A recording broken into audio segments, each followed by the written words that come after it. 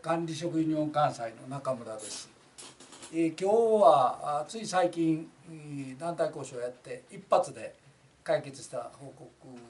まあそういう事例報告ということで話します。前に書いてあるように嘱託社員契約更新と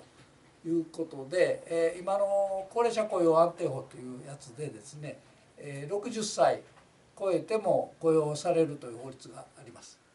で一応法律上の形でどうすればいいかいうのは定年制をね全くなしにするとまあ働ける間ね80でもええというふうにしても構わないです。でもう一つは定年を65歳にするというのが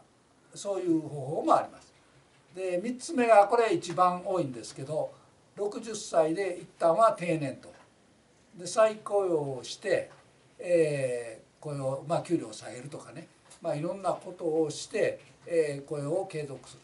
それをまあ有期雇用的にですね1年後として65まではあ保障すると、まあ、こういう形になるわけです。でこの人の場合は60歳で一旦、まあ、2011年ですから4年ほど前ですね今。今3年ほど前2021年。あ2021年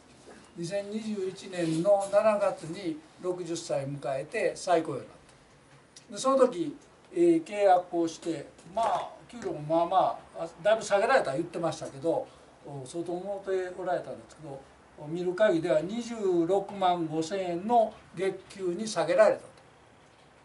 まあ年収300万ちょっと超えるみたいですけども、まあ、こういう給料になって、えー、2021年の7月に契約を結んだで、えー、2年2022年2023年7月ですねそれぞれ契約をしてで今回の契約がどうなるかいうことで、え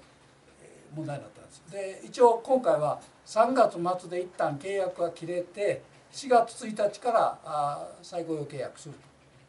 まあ、いうことであったんですけどまあ、えー、当該の組合の方はまあ契約がされへんの違うかという不安で組合に相談来られました。でどういうことかいうと、まあ、あの仕事としては経営あの建築業界のコンサル事業ですからあの一応積算とか言うてね、えー、入札に出す時の資料を作ったりあるいはそれをフォローするような事務ですねがの仕事を担当されてたんですけども、まあ、非常に退職される方が増えて仕事が増えたと。で残業なんかも相当多くやられてこなせなかったと実際ね。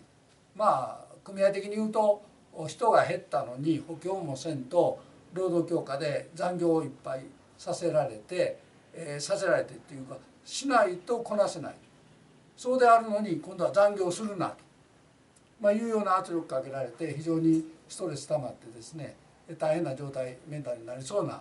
状態まで追い込まれてて今回の契約の状況になったということで、まあ、あの上司の部長とかあるいは人事からなんかニュアンス的にですね再雇用しないかのような話を言われてたと、まあ、いうような状況で相談来られました。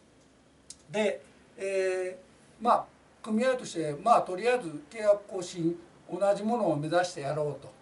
でなかなかここはあのこの会社はいいところはね、えー、一応今の先26万何がしの月給と賞与があるんです。ちょっとこれ額はあのはっきりしてないんですけどまあ年度によって違うとは思いますけど賞与もあるという形になってます。一般的に企業ではですね大企業も含めて再雇用以降は賞与なしというとこが多いんですけどもまあここの場合は。でこれに関しても削られちゃうかと、まあ、いう不安含めてあって、まあ、あのいじめられてやめやめるように追い込まれることとお、まあ、変なメンタルの病気になったらかなわんということと賞与もなくなるんちゃうかと、まあ、いうことで団体コーチ申し入れました。でまああの他の組合も協力して、えー、3人で私とですね当該ともう一人組合に応援していただいて3人で臨みました。で、えー、組合の要求は何ですやろと冒頭からね聞かれましてでまあそうか聞かれる前に管理職ユニオンの説明しましょうかって言ったら「いやもうホームページでゆっくり見させていただいてます」っていうような話でした。なんかえらい普通の今までやってる交渉と違ってなんかちょっとビビリンチョンかなという感じの様相でした。向こうも3人ぐらい出てましたんでね。でまあ管理職ユニオンの話をしてでおもむろに「何が議題ですか?」という「何が言いたいんですか？組合さんは」いやいや契約更新の話で、えー、前回はですね3月末締め切りだから3月の半ば頃ぐらいかな。ぐらいにもう来年も一緒ですぜというね、えー、雇用契約書嘱託社員の雇用契約書を持ってきて、えー、同じやからサインしてって言って話でしたと。で今年はこの期日過ぎてもまだ持ってけへんと。で4月からねどうなるんやいうことで、えー、不安やったから組合に行って団体交渉申し出されましたという話になって「あ契約書の話ですか?」いや契約書はあの別にあのいろいろなんかぐちゃぐちゃ言ってました。で下げるつもりなんです同じやったらええんでしょうか。っていうふうに聞かれたから「そうですよ」でまああの一応見本持ってきましたんで賞を持てるやつ。で見たらまあ前年のと一緒やったんです。でまあ話としては簡単ですけどね。なかなかこういう話になるのは珍しいんです。でこの会社いろいろその当該の人も聞いてみたんですけど労働組合っていうのを相手するのは初めてでで管理職ユニオン相当こう有名かどうかわからんですけどね。あの構えてたと、まあ、若干ビビってたところもあるんちゃうかって言ってあの終わった後ね、まあ、彼と3人でですね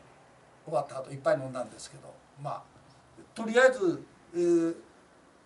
一応契約ねあの再雇用問題っていうのは60過ぎてから、まあ、法律上は65までは絶対雇用しなあかんということをよく覚えておいていただきたいというのが一つね。であと本来はもうまあヨーロッパとかねアメリカ含めては定年っていうのは制度がないんです。これは日本だけなんですね。でですからほんまはあの80でも働ける人は働いてもらう働けない人はやむえんなというまあ福祉関係のねカバーをしてもらうとかそういうのはあるんですけどとりあえず60歳定年して再雇用してで若干労働条件下がるっていうのは一般的にはよくあります。それでも同じ仕事やったら下げるあれは法律的も労働組合でね要するに同じ仕事してるんやったら6059から60になるにしても同じ給料で要求すべきやと。でただ向こうの言うてくるのはね課長とか多分次長とかまあ部長とかだったとしますねその肩書き外すというのが結構多いです。でどういう理屈かいうともうあの何人か部下を構えて責任持ってもらう必要はないと。部下がした仕事はあの違う新しいね管理職が責任持つからあなたはまあ仕事はやってもらうけど管理職としてのことはしてもらう必要ないということで、えー、役職手当をバーンと外して基本給もまあ大体3割ぐらい下げるとかね2割下げるとかいう企業が多いです。でまあこの方も最初ですね60から6060 60になった時に、えー、給料としては3割ぐらい下げられてそれでも結構高かったみたいですね。26万5千円ですからあ契約がね。そういう意味ではあの 1, 1回で解決してよかったんですけど、まあ、会社の方も仮にですよ。まあ管理職には大したことないわと。まあ行って弁護士らに相談しながらやったろうかと。言うてもうあのこの再雇用問題の時何が大きなポイントになるか言ったらそれはあの解雇とかね懲戒解雇とか解雇とかに相当するような理由があるかどうかです。これは別に再雇用であろうが通常のね、えー、60までの若い時でも懲戒解雇があれば懲戒解雇理由があればこれ退職も払わへんとかいうそういう制度になってるとこが多いですからまあそういう理由がない限りは基本的には継続雇用せざるを得ない今の高齢者雇用安定法の法律に基づいてしなければならないというふうになってることをよく覚えておいていただきたい。でまああのこれからまだ60過ぎてえー、再雇用で働く人どんどん増えると思います。まあ、そういう意味で、えー、なんかあの諦めたりですね下げられるのは当たり前やというんじゃなくてそれはあの仕事軽減されるとか人によってはね、えー、週週3日働くとか4日働くとかそういうふうにしてもいいわけです。で私の娘なんかあのオーストラリアにおるんですけどもあの最初採用は全部アルバイトなんです基本はね。で正社員になる時にフルタイムの正社員なのか